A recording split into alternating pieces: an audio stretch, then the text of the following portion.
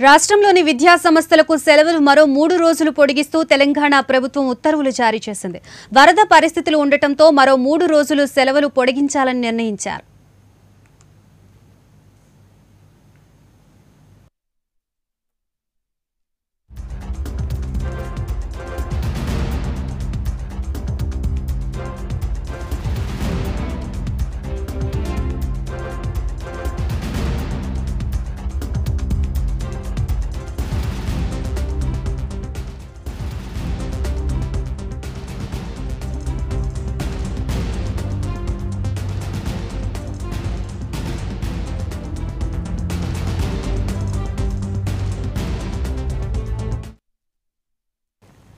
దీనిపై మరింత సమాచారం మా ప్రతినిధి శ్రీధర్ లైవ్లో అందిస్తారు. శ్రీధర్ చెప్పండి తెలంగాణ ప్రభుత్వం మరో మూడు రోజులు సెలవులు పొడిగిస్తూ ఉత్తర్వులు జారీ చేసింది. దానికి సంబంధించిన అప్డేట్స్ ఏంటి?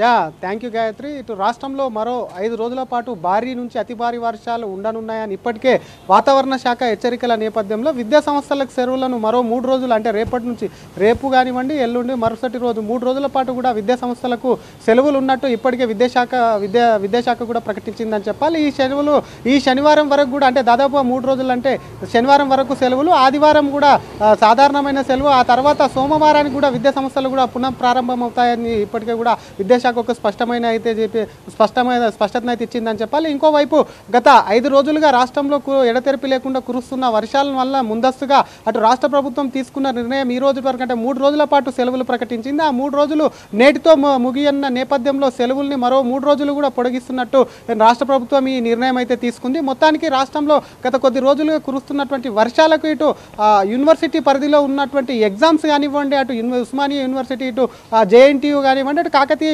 యూనివర్సిటీకి సంబంధించిన ఎగ్జామ్స్ అన్నింటినీ ఇప్పటికే పోస్ట్ పోన్ చేసినప్పటికీ కా ఈ ఉదయమే కూడా ఈ ఎంసెట్కు సంబంధించిన ఎగ్జామ్ ఎంట్రన్స్ ఎగ్జామ్ ఏమైతే ఉందో దానికి కూడా సంబంధించి ఈ రోజు రేపు ఎల్లుండి భారీ వర్షాలున్న నేపథ్యంలో అగ్రికల్చర్కు సంబంధించినటువంటి ఎంట్రన్స్ ఎగ్జామ్ను కూడా పోస్ట్ పోన్ చేస్తున్నట్టు విద్యాశాఖ ఒక ఉన్నత విద్యాశాఖ ఒక లెటర్ ఒక సర్క్యులర్ అనేది రిలీజ్ చేసిందని చెప్పాలి. ఇంకోవైపు ఆ ఎంసెట్కు సంబంధించి ఇంజనీరింగ్ సంబంధించినటువంటి ఎంట్రన్స్ ఏదైతే ఉందో అది పద్దెనిమిది ఇరవై తేదీలో సంబంధించిన మూడు రోజులు జరగనుంది కాబట్టి దానికి సంబంధించి యథావిధిగా జరుగుతుందని ఇప్పటికే ప్రకటించిందని చెప్పాలి.